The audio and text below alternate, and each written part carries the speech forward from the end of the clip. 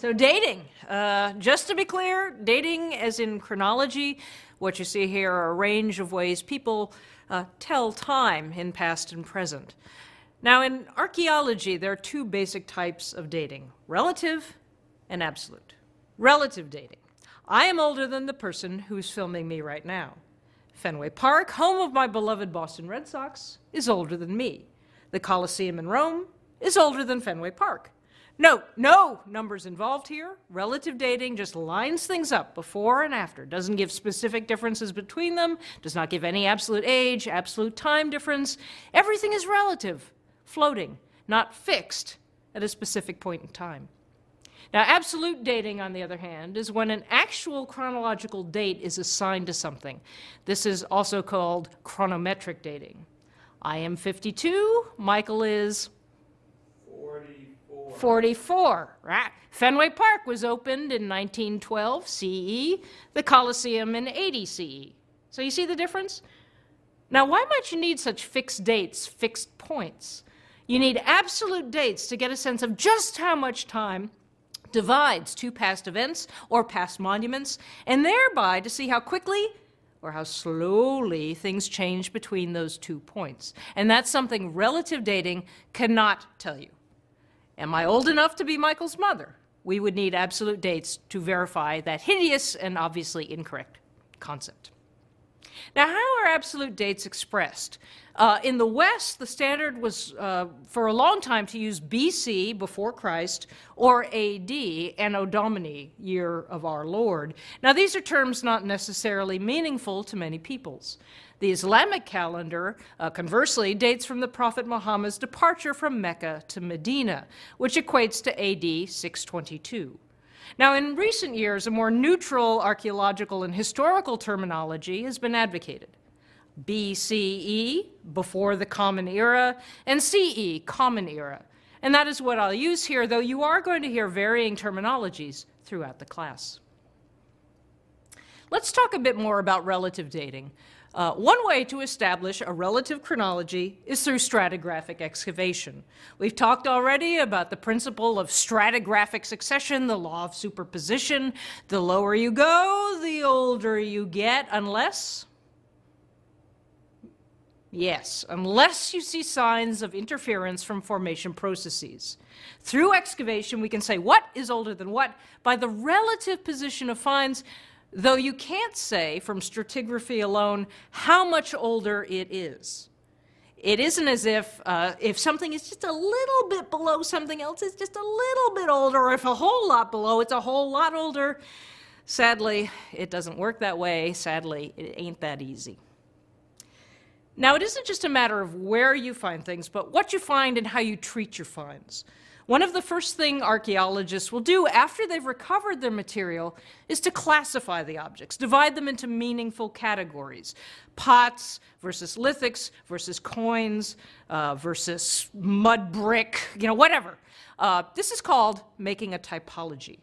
Basically, this involves the classification of artifacts into types on the basis of certain similarities. Now, one thing to understand about typologies is there is no one way to do it. There are as many different typologies as there are archaeological questions. So there's no right or wrong way, but some are definitely more useful than others. It makes more sense to put pots in one category and coins in another and mud brick in another than to say, okay, things bigger or smaller than a breadbasket.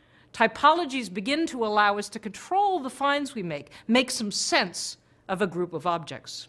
One of your archaeological exercises will offer you the chance to do just this kind of analysis. You might be thinking, though, what does making a typology have to do with dating? Well, one general feature, a cross cultural feature of human life, is that artifact styles change through time. Pots, jewelry, clothing, whatever, all change in design through time. It's strange but true that it is very rare for things to remain unchanged over long periods. I want you to think of something that has not developed, has not changed at all, doesn't look all that different from your parents' time to your own. Think about that for a second. Now, what doesn't change in my world? Uh, pencils. Uh, toilets, in case you're wondering, I that I came across that toilet doing intensive survey in Greece. Don't ask me what it's doing there. Uh, these are functional things, not glamorous things. Uh, money, too, tends to be quite traditional, doesn't tend to alter through time. What does change? Uh, think of clothes, cars, hairstyles, you know, things that are highly variable, things that are central to self-presentation.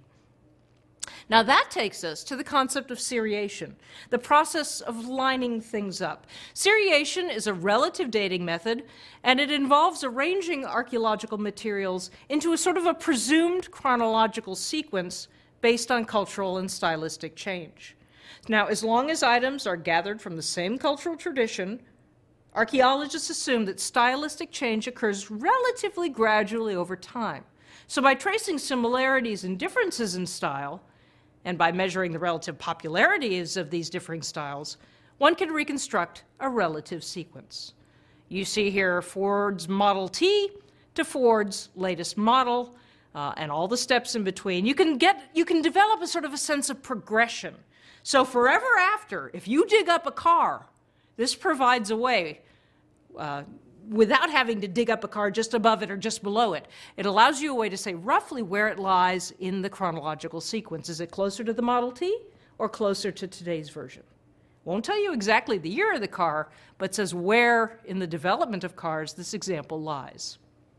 Now, seriation is not, of course, perfect. Some styles come back, bell bottoms, retro fashions, but still, it's one relative dating technique.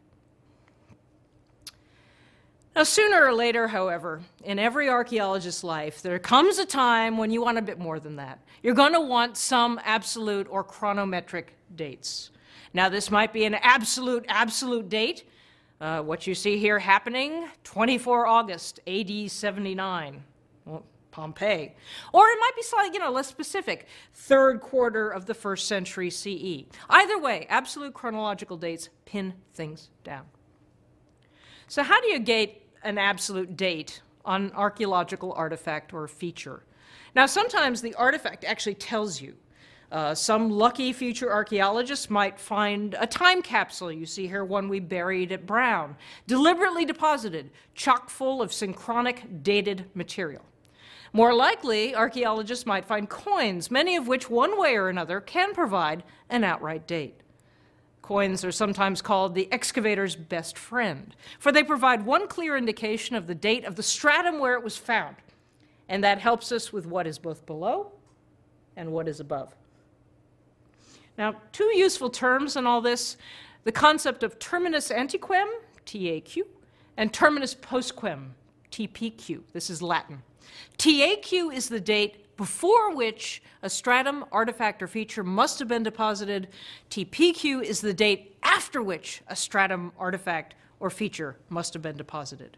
Let's say you're digging and you find a floor, and lying on the floor is a coin, a coin that dates to 43 BCE, the year after Julius Caesar's death.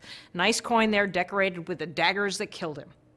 Well, that provides a nice TAQ for the floor. The floor had to be there before the coin could be put on it. The floor dates before 43 BCE. Caesar could have stood on it.